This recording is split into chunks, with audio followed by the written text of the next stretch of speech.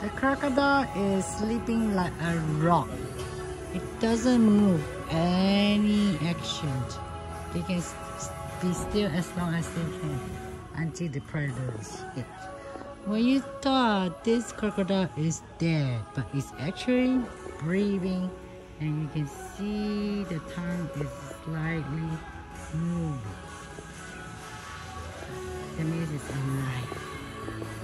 And the whole body will not move for good for hours.